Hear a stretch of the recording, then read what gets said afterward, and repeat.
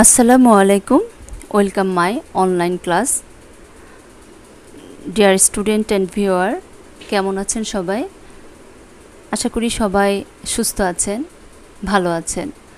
আজকে honours second ইয়ারের course number দুই হাজার দুই, জিওমরফোলজি কোর্সের আমরা আর্থকুয়েক চ্যাপ্টারটার ক্লাস নেব।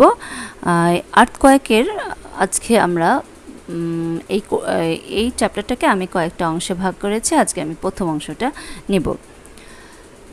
এবং এটা আমার এই কোর্সের পাঁচ নাম্বার লেকচার। তার আগে আমি আমার পরিচয় দিয়ে নিই। আমি হচ্ছি নাসরিন আক্তার, সহকারী অধ্যাপক, ভূগোল ও পরিবেশ বিভাগ, ঢাকা কলেজ, ঢাকা। আজকে আমরা আমাদের এই প্রেজেন্টেশন থেকে যেটা জানব সেগুলো হচ্ছে যে what is earthquake focus of earthquake seismic waves, seismograph, earthquake intensity, intensity scale of earthquake. প্রথমে আসি যে সৃষ্টির, আমরা জানি যে সৃষ্টির আদি লগ্ন থেকে পৃথিবীতে বেশ কিছু ভূগাঠনিক প্রক্রিয়া বা কাজ করে চলছে। যদিও তাদের কাজের হার এবং প্রকৃতি কিন্তু সবসময় একরকম ছিল না। আমরা যদি এখানে একটা ছক দেখছি, আমরা স্লাইডে তোমরা একটু খেয়াল করলে দেখো যে একটা ছক দেখা যাচ্ছে, এটা হচ্ছে প্রসেস এফেক্টিং আর্থ ক্রাস্ট এটাকে দুটো প্রধান ভাগে ভাগ করা হয়েছে। একটা হচ্ছে এন্ডোজেনিক জেনেটিক প্রসেস আর একটা হচ্ছে এক্সোজেনেটিক প্রসেস এন্ডোজেনেটিক প্রসেসের আবার দুটো অংশ আছে কন্টিনিউয়াস প্রসেস সার্টেন আর অ্যাক্সিডেন্টাল প্রসেস অ্যাক্সিডেন্টাল প্রসেসকে আবার দুটো ভাগে ভাগ করা হয়েছে, একটা হচ্ছে ভলকানিজম একটা হচ্ছে আর্থকোয়াক টুডে আমাদের লেসনে হচ্ছে আর্থকোয়াক হোয়াট ইজ আর্থকোয়েক বা ভূমিকম্পটা কী? ভূমিকম্প একটি প্রাকৃতিক দুর্যোগ। ভূ অভ্যন্তরে কোনো কারণে বিপুল শক্তি সৃষ্টি হওয়ায় ভূপৃষ্ঠের যে প্রবল ঝাঁকুনি বা কম্পনের সৃষ্টি হয়, তাকে ভূমিকম্প বলে। যদি একটা মানে ক্লাম পুকুর অর্থাৎ একটা শান্ত পুকুরে যদি আমরা একটা ঢিল ছুড়ি, তাহলে যে ঢেউয়ের সৃষ্টি হয়, তা পুকুরের চারিদিকে সেই ঢেউটা ছড়িয়ে পড়ে। একইভাবে ভূমিকম্পনের ক্ষেত্রেও ভূ অভ্যন্তরে যেখানে শক্তি মুক্ত হয়, সেখানে থেকে পানির ঢেউর মতো শক্তি শিলার তরঙ্গের সৃষ্টি করে এবং তা দ্রুত চারিদিকে ছড়িয়ে পড়ে। ভূ অভ্যন্তরে যেখানে শক্তি মুক্ত হয় তাকে কেন্দ্র বলে। কেন্দ্র থেকে লম্বালম্বিভাবে ভূপৃষ্ঠের উপরিস্থিত বিন্দুকে উপকেন্দ্র বলে। ভূকেন্দ্র থেকে, ভূকম্পন কেন্দ্র থেকে দূরত্ব বৃদ্ধির সাথে সাথে ভূমিকম্পের শক্তি হ্রাস পায়। ভূমিকম্পর শক্তি সম্পন্ন এলাকাকে যুক্ত করে মানচিত্রের উপর যে রেখা পাওয়া যায়, তাকে সমভূমিকম্পন রেখা বলা হয়ে থাকে। আমরা যদি এক কথায় বলি, ভূমিকম্প বলতে সাধারণভাবে ভূপৃষ্ঠে সৃষ্ট কম্পনকে বোঝায়। ভূমিকম্পের ফলে ভূপৃষ্ঠে পরিবর্তন সূচিত হয়। কম্পনের মাত্রা তীব্র হলে ঘরবাড়ি, রাস্তাঘাট, গাছপালা এগুলো ধ্বংস হয়ে যায়।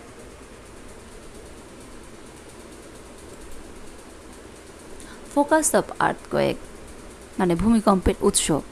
ভূগর্ভে যেখানে ভূমিকম্প তরঙ্গের যেখানে ভূমিকম্পের তরঙ্গের উৎপত্তি ঘটে সে অঞ্চলটিকে ভূমিকম্পের উৎস বা কেন্দ্র বলে। আর ভূমিকম্পের উৎস ভূপৃষ্ঠে কিংবা গড় সাগর পৃষ্ঠ থেকে প্রায় দেড়শো থেকে সাতশো কিলোমিটারের মধ্যে যে কোনো গভীরতা হতে পারে। সাধারণভাবে বেশিরভাগ ভূকম্পনের উৎসই আড়াইশো থেকে চারশো কিলোমিটার গভীরতার মধ্যেই থাকে। ভূকম্পের, ভূমিকম্পের উৎসের ঠিক উপরে ভূপৃষ্ঠের যে অঞ্চল থাকে, অঞ্চল তাকে ভূমিকম্পের উপকেন্দ্র বলে। ভূমিকম্পের প্রভাব উপকেন্দ্রে সর্বাধিক হয়ে থাকে, সাধারণত উপকেন্দ্র একটি বৃত্তাকৃতি বা উপবৃত্তাকৃতি অঞ্চল। এটা হচ্ছে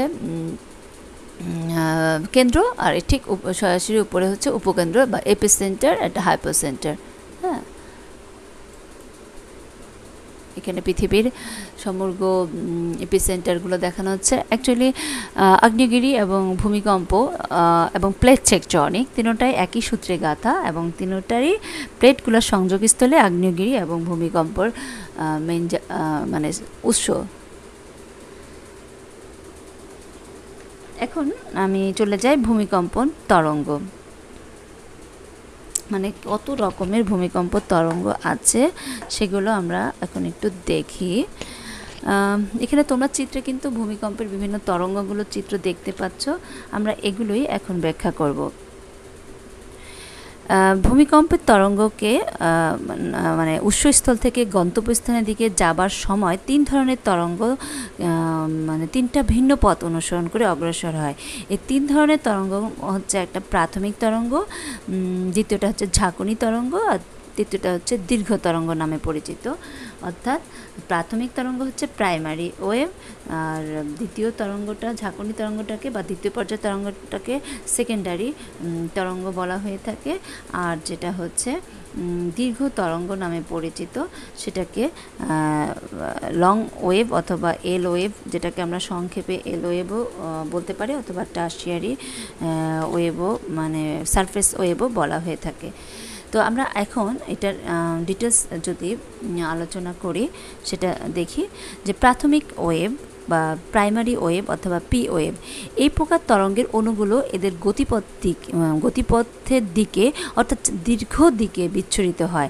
এই তরঙ্গ মাটির মধ্য দিয়ে সোজা পথে অগ্রসর হয়। এই তরঙ্গের ধর্মই হচ্ছে ধাক্কা দেওয়া।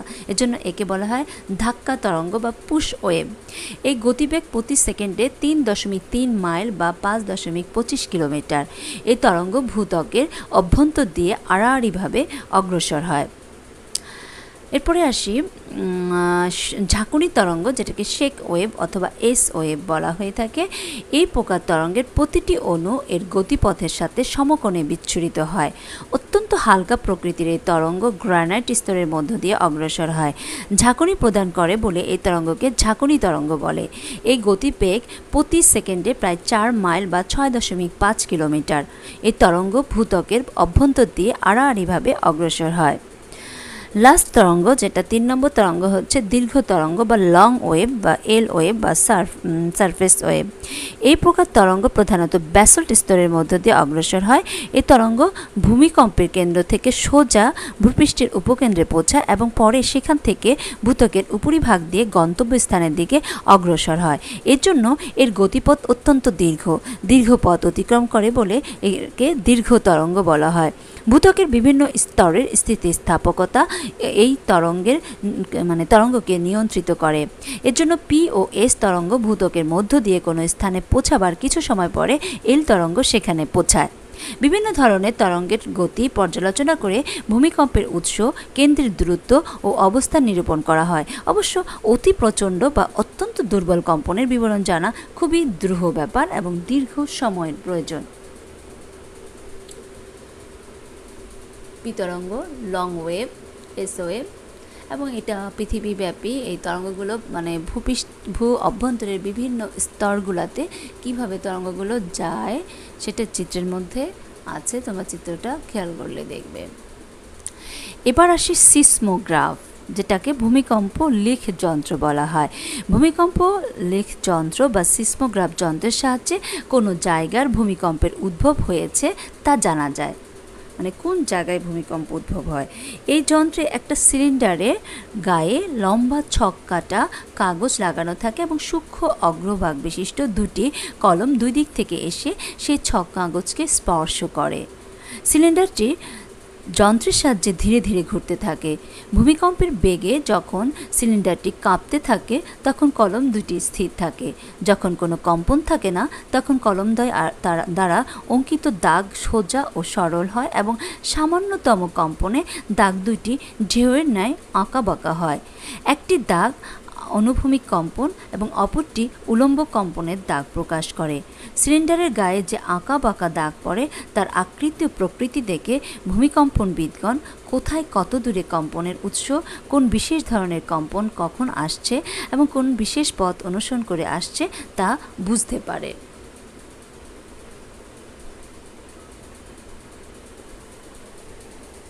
আমরা পরবর্তী স্লাইডে যাই সেটা সেখানে আমরা দেখব যে ভূমিকম্পের বিভিন্ন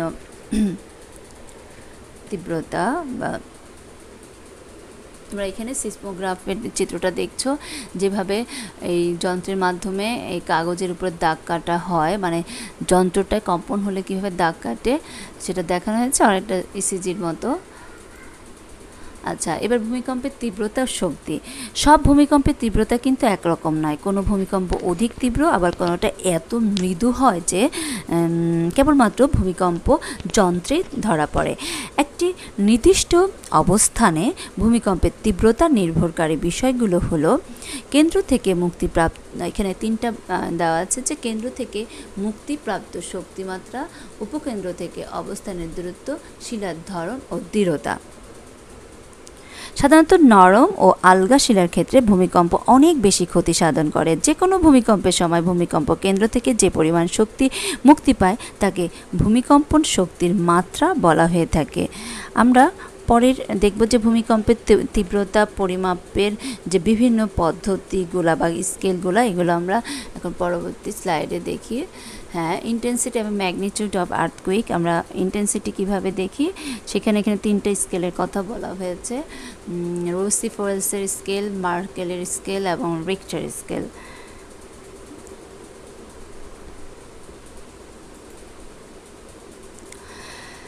উম,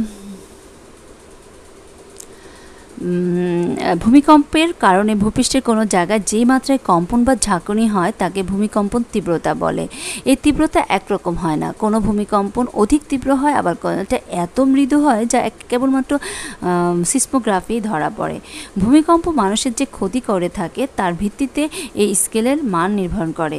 তীব্রতা মাপান মাপার জন্য ভূবিজ্ঞানী মার্সিল এবং রিক্টারের স্কেলটা খুবই বেশি জনপ্রিয় এবং এই দুটো স্কেলই মেনলি পড়া হয়ে থাকে।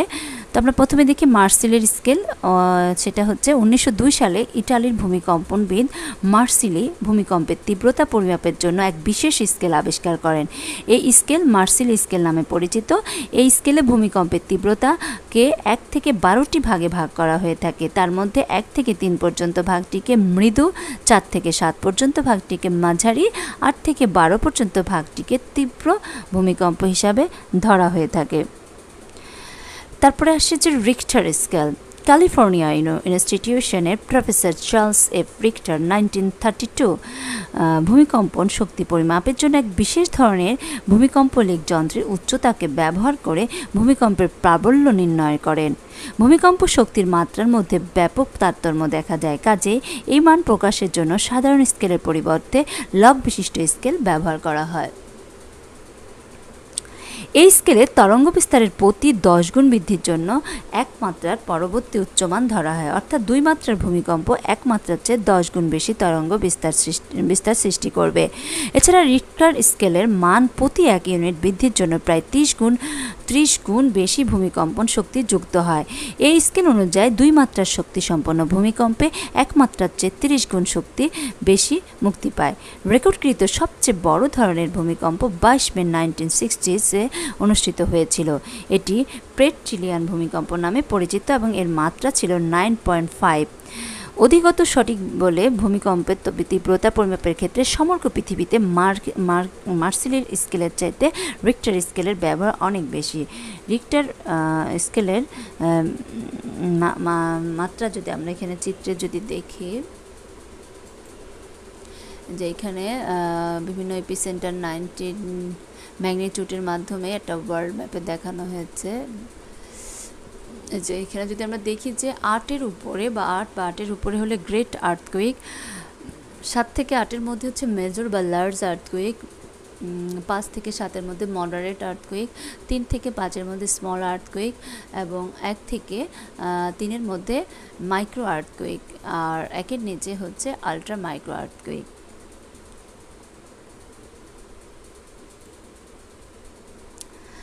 আমাদের আজকের আর্থকুইকের লেসনটা এখানে শেষ। সবাইকে ধন্যবাদ আজকের ক্লাসটা শোনার জন্য এবং দেখার জন্য। সবাই ভালো থাকবেন। আল্লাহ হাফেজ। আসসালামু আলাইকুম।